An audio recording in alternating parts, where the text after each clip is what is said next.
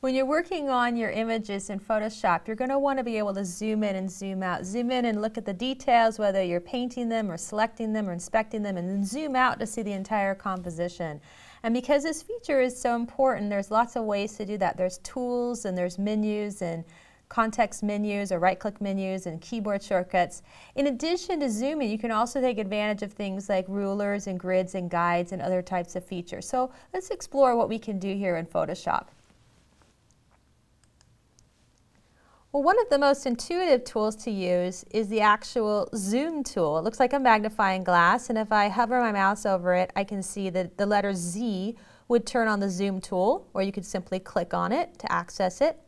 And I get this magnifying glass, and what I can do is just click and drag straight down, and I'm going to zoom in, or click and drag up, and I can zoom smaller. Actually, I should say I can magnify it by dragging down and then um, zoom out. I'm going to scroll over here a little bit to change that. What we have is called the scrubby zoom. That's fun to say, scrubby zoom. And it's actually a feature that's turned on with the options bar, part of the zoom. You can see here the scrubby zoom. You can turn on and off.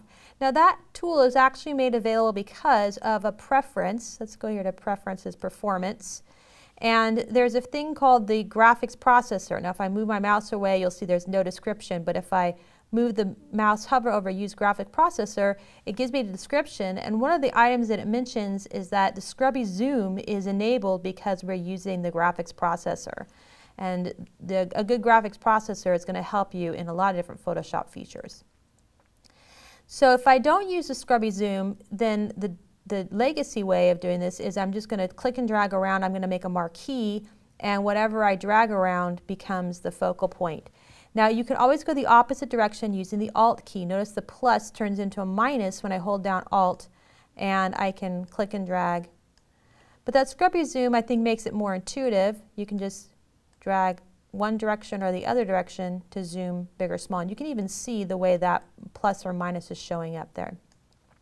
Now if I zoom larger, magnify in to that screen, I can use the hand tool and here's that hand, or you could press the letter H.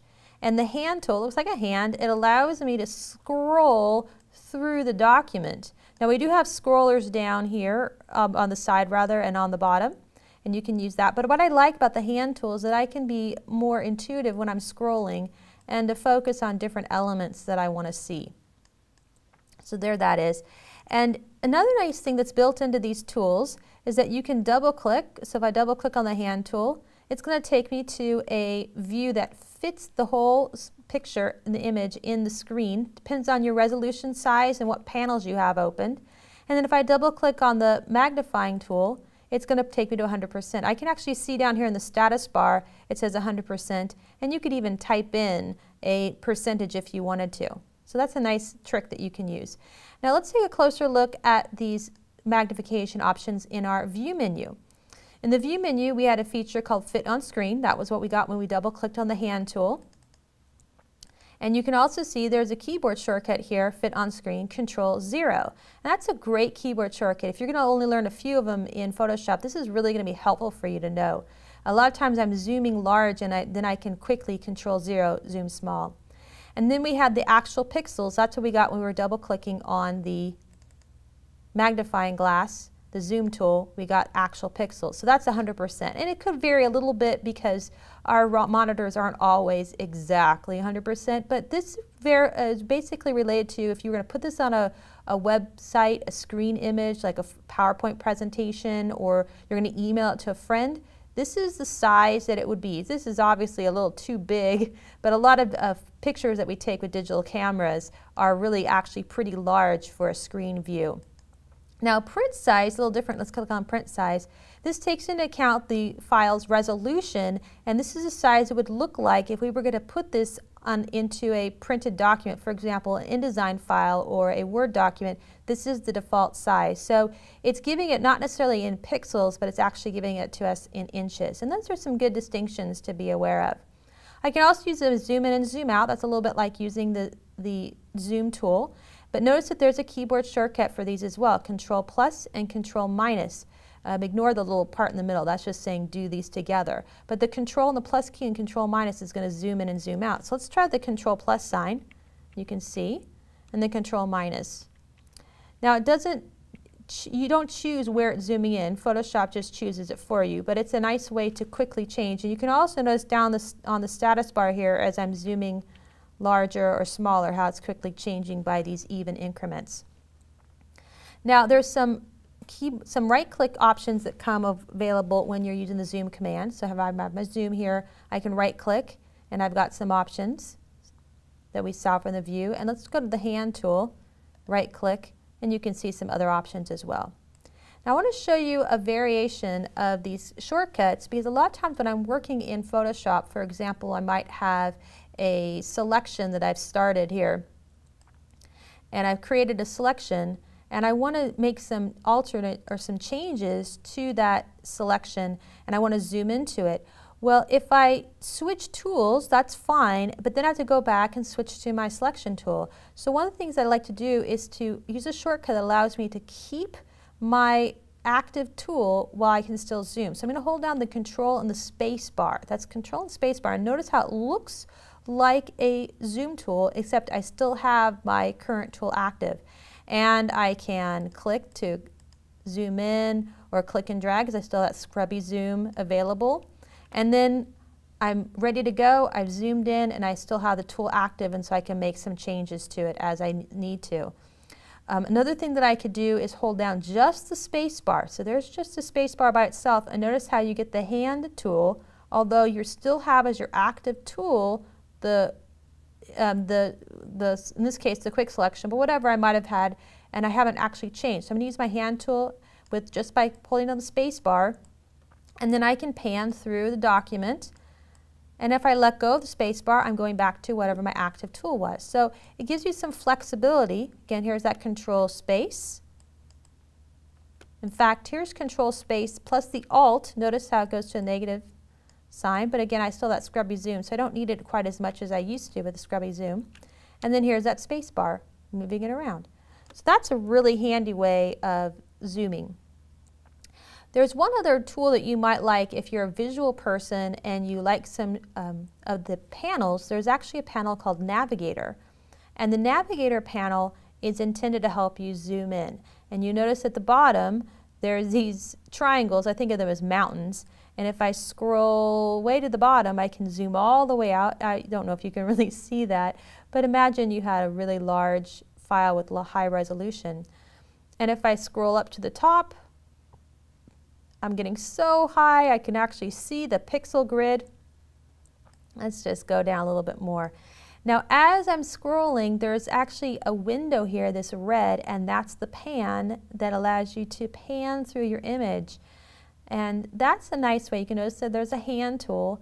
Now this is independent of the hand and the keyboard shortcuts. It's all maintained by the navigator panel. So it gives you another way to um, handle your information. And the navigator panel is something you can turn on and off just easily. And we got there through the window menu with all your panels are stored there. Now, another neat thing about your display, your zoom or your view, if you want to call it that, Uh, these panels can be turned on and off, and so I'm going to press the Tab key. When I press Tab, notice that the panels will disappear. And I'll press Tab again, it toggles them back on. That's a good one to know because I've seen that happen on accident to a lot of people and they realize, I broke it. No, just press Tab again and it comes back. And then also there's some different screen modes. And the screen modes are located at the very bottom. I'm going to click and hold, and you can see we're in standard screen mode. There's also one here called full screen mode, with menu bar and, and full screen mode. And I notice that there's a letter F, and that's going to let you switch between them. So if I were to, instead of clicking on these buttons, if I were just to press the letter F, it's going to switch. And this gives you a way to demo your image without being distracted by those other elements. And it also can be affected by the tab key. So there's my tab, and I'm going to press the letter F a few times, and you can see how it's making its way through. Press tab again to bring everything back. And most of the time you're going to want to be in that standard screen mode. It's going to give you all your commands and all your tools for editing purposes. Incidentally, that button down there has been around for quite a while, but if you've used some of the recent versions like CS5 and CS4, you might have been used to at the top an application bar where you're accessing the screen mode and they've removed the application bar in this version and they've consolidated it so they return the screen mode down to the bottom of your tools. So it's an easy place to find it. Well, let's go ahead and fit to window. I'll do a control zero to fit to window. let's take another look here at your view options. In addition to your view options, oh look, there's your screen mode one more time.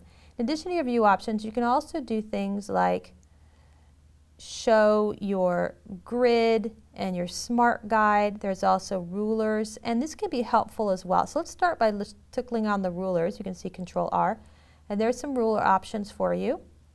And then we'll go back to View, and we'll go to Show.